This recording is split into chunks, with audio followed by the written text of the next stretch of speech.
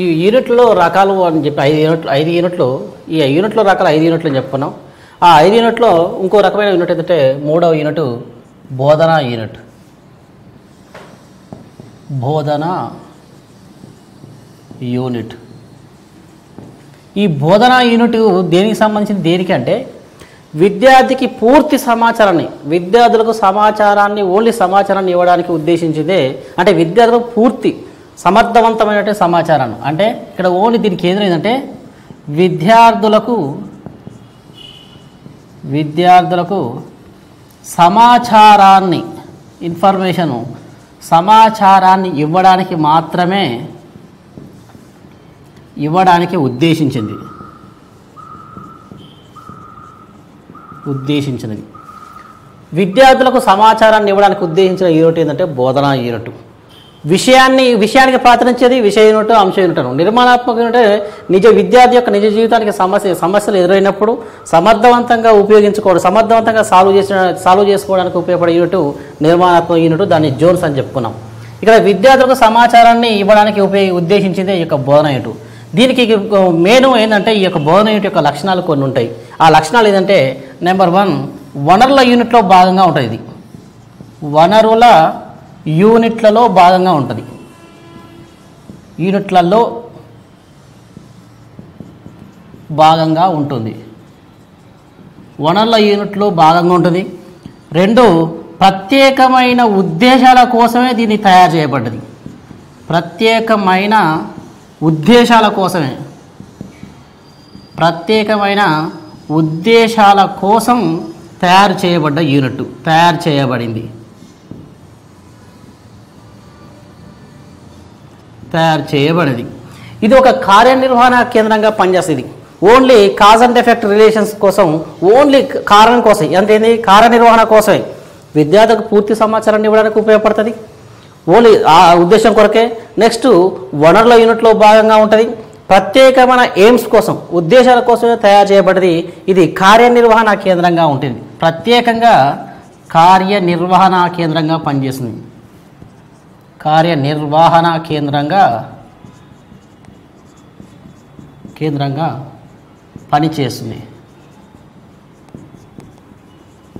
ఇది ప్రత్యేకమైన ఎట్లనంటే ప్రత్యేకమైన తరగతి బోధన కోసమే ఉపయోగపడుతుంది. ప్రత్యేకమైన తరగతి బోధన కోసమే ప్రత్యేకంగా ఇది ఉపయోగపడుతుంది ఇది. ఇది ప్రత్యేకమైన అయినా తరగతి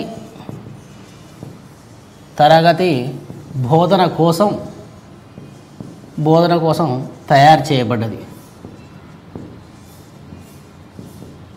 తయారు చేయబడింది. ఇది బోధన యూనిట్.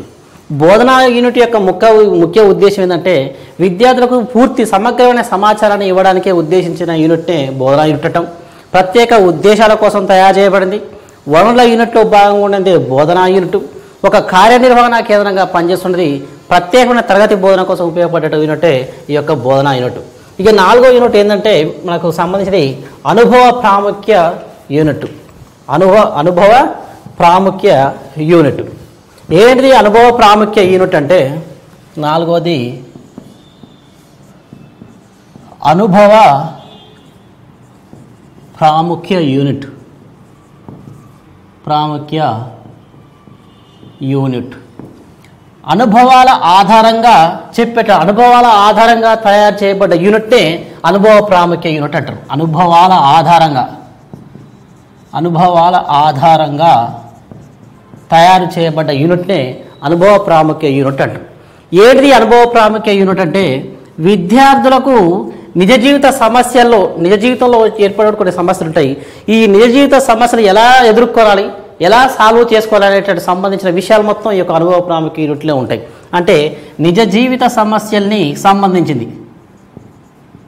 నిజ జీవిత సమస్యలకు ఎక్కువగా ప్రాముఖ్యత ఇచ్చేది. నిజ జీవిత సమస్యలకు సంబంధించినటువంటి యూనిట్. సంబంధించిన యూనిట్. పిల్లల్లో సమస్య పరిష్కార శక్తిని సమస్య పరిష్కార శక్తి శక్తిని పెంపొందిస్తుంది. సమస్య పరిష్కార శక్తిని పెంపొందిస్తుంది. సమస్య పరిష్కార శక్తిని అభివృద్ధి పరుస్తుంది. సమస్య పరిష్కార శక్తిని పెంపొందిస్తుంది. ఇంకోటి ఏంటంటే దీని మీద ఒక నిర్వచనం ఇచ్చిన ఒక వ్యక్తి బెల్లాడ్. బెల్లాడ్. ఇది బాగా గుర్తుపెట్టుకోవాల్సిన విషయం. ఎందుకంటే పాఠశాలలోకి తీసుకురాబడిన నిజ జీవిత భాగమే యొక్క అనుభవ ప్రాముఖ్య యూనిట్. అంటే ఏంది? పాఠశాలలోకి పాఠశాలలోనికి లోనికి తీసుకురాబడిన తీసుకురాబడిన నిజ జీవిత భాగం నిజ జీవిత భాగం భాగమే ఈ యొక్క అనుభవ ప్రాముఖ్య యూనిట్ అని చెప్పడం జరిగింది. ఇక్కడ ఏంటంటే పూర్తిగా అనుభవ ప్రాముఖ్య అనుభవాల ఆధారంగా ఉపాధ్యాయులు చెప్పిన అనుభవం కల్లా వ్యక్తులు చెప్పినా కూడా వారి నిజ జీవితానికి సంబంధించిన కొన్ని విషయాలు ఉంటాయి ఆ విషయాలకు సంబంధించిన విషయాలు మొత్తం ఈ రూట్లో పొందుపరచడం జరిగింది. కొన్ని సమస్యలు వస్తాయి. సమస్యలను సాల్వ్ చేసుకోవాలి. నెక్స్ట్ సమస్య పరిష్కార శక్తి మనలో డెవలప్ చేయాలి. ఇలాంటి మొత్తం కూడా అనుభవ ప్రాముఖ్య యూనిట్లో ఎక్కువగా ఇవ్వడం జరిగింది. దీనికి బెల్లార్డ్ అని చెప్పిన ఒక నిర్వచనం? పాఠశాలలోకి దిగు దిగుమతి చేయబడిన నిజ జీవిత భాగం అనొచ్చు పాఠశాలలోకి తీసుకురాబడిన నిజ జీవిత భాగమే ఈ యొక్క అనుభవ ప్రాముఖ్య యూనిట్ అని చెప్పడం జరిగింది. ఇంకొక యూనిట్ ఉంది. ఏంటి ఆ యూనిట్ అంటే వనరుల యూనిట్ లాస్ట్ యూనిట్ ఐదో యూనిట్.